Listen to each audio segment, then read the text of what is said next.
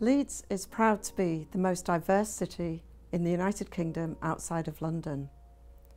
Our aim is to be a compassionate city within a strong economy. Migrants are vital in both those elements.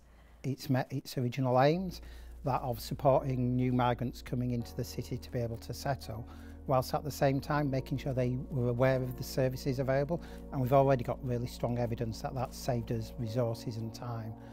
But crucially now, those same communities are beginning to identify the issues themselves and from that actually coming up with the solutions themselves using the strengths and assets within those migrant communities in the city.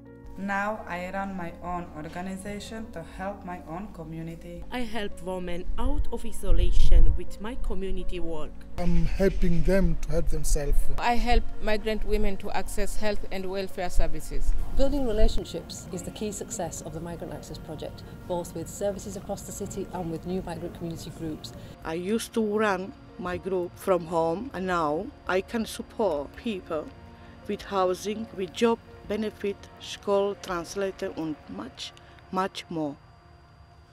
The Migrants Access Project is essential in helping us deliver our ambition.